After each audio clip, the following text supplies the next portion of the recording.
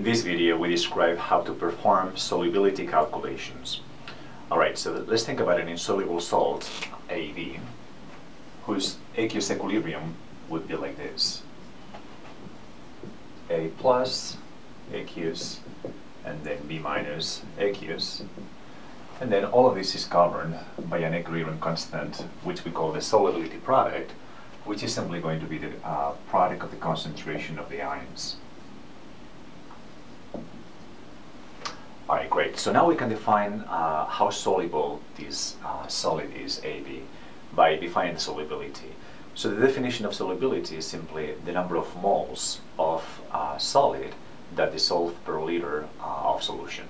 Alright, so uh, obviously it's going to be very difficult to track what those moles of solid uh, dissolve per liter of solution are by looking at the solid itself, right? Uh, you would have to think about changes in mass in the solid and so forth, but that is hard to do.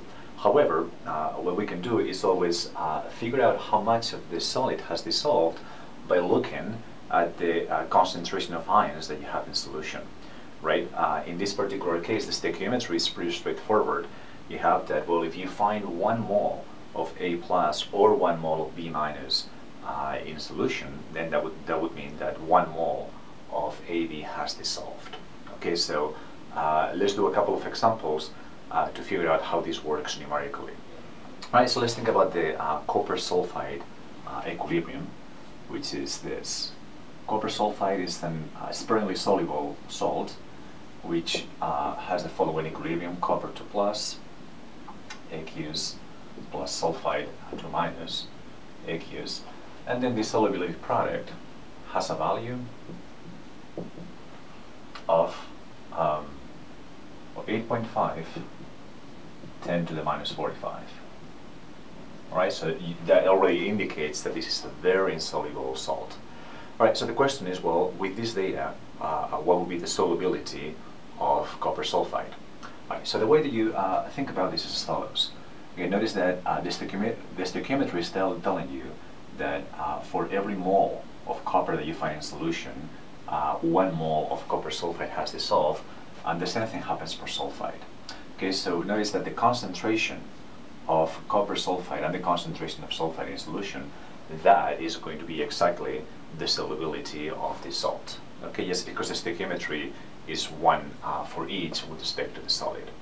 Right, so well, these uh, are the concentrations of the ions in solution, but that is exactly what is uh, coded by the sol solubility product. Okay, so we can say that the definition of the solubility product is simply the equilibrium constant of this process, but that is just the concentration of the ions, the product of the concentration of the ions divided by the activity of the salt, which is 1.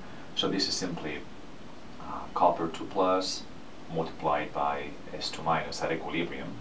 Okay, so well, uh, when we now code this in terms of solubility, again, because uh, the solubility, solubility of the salt is uh, the concentrations of the ions in solution, this is simply going to be equal to x multiplied by x or x squared.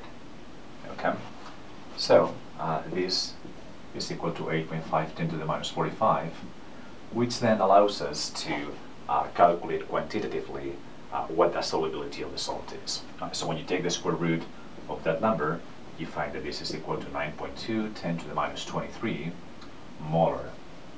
Okay, so that is a solubility of uh, copper sulfide.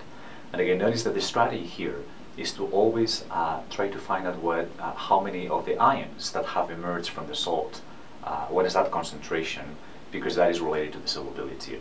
This is the simplest case in which the concentration of the ions uh, uh, and the solubility of the salt is the same because the stoichiometric coefficients of the salt and the ions are all one. Okay, but there are cases that will be a little bit more complicated. So for example, let's move on to a different example in which the stoichiometry is not as trivial to see how to proceed. All right, so we, uh, let's look at uh, silver sulfide instead. So silver sulfide is this uh, insoluble salt. Okay, so then um, the equilibrium will be two silver ions plus sulfide. And again, uh, now the agreement constant, that solubility product will be a little different. This value is 1.6, 10 to the minus 49. Okay? And then the question is, well, what is the solubility of this salt, of this insoluble solid?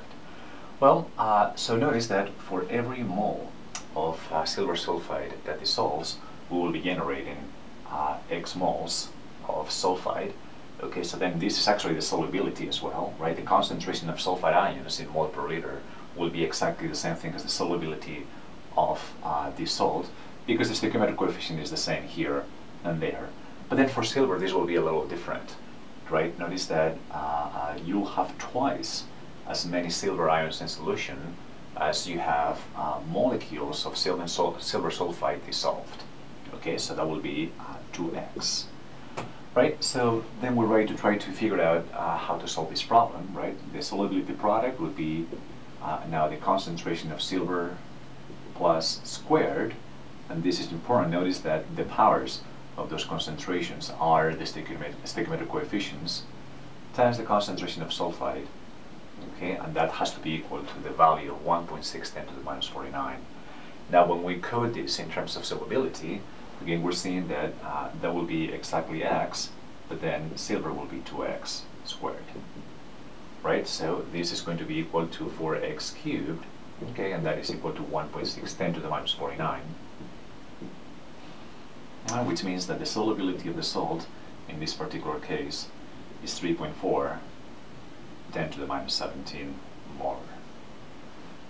Okay, so this video has uh, introduced the concept of solubility and then we have learned how to calculate the solubility of a sparingly soluble salt by just looking at the concentrations of ions in solutions uh, that come from the solubility product.